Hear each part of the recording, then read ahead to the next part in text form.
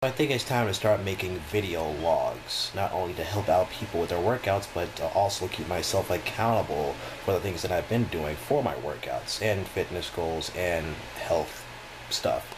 I got the idea from my friend Ben Kessler.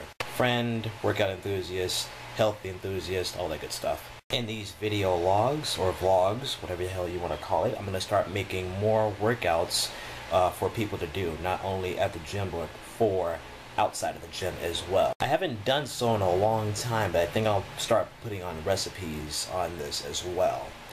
Not only is this something to help me out, but it's also something to help you guys out too. Things I'm going to do with this video, you guys can apply to yourself. You don't have to do everything 100% like how I do it. Just take what you can, take what you need, and then, you know, make it your own. Obviously, with my weight in and my body fat, it's going to be different from yours. Duh. On Monday, I weighed in about 182 pounds and 18% body fat. Do not get obsessed with these numbers. If those numbers don't change, or there's just a small bit of change, the only thing you should really worry about is how you're feeling.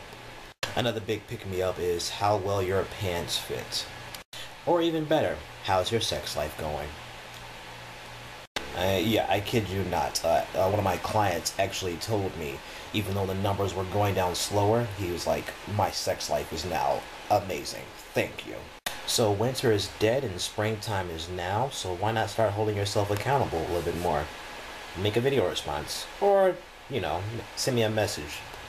A constructive message.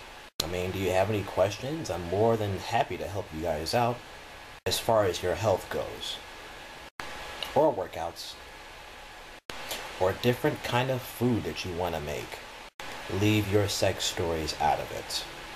The most I want to hear of that is it's gotten better because I started working out. No gory details about how you and your partner decided to start doing. So get up, move, and get active today. Not just later on today, today, now. Not now, but right now. Let's go.